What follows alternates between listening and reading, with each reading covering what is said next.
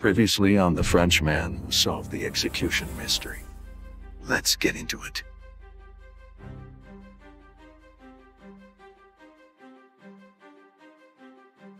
Goodbye, Ella.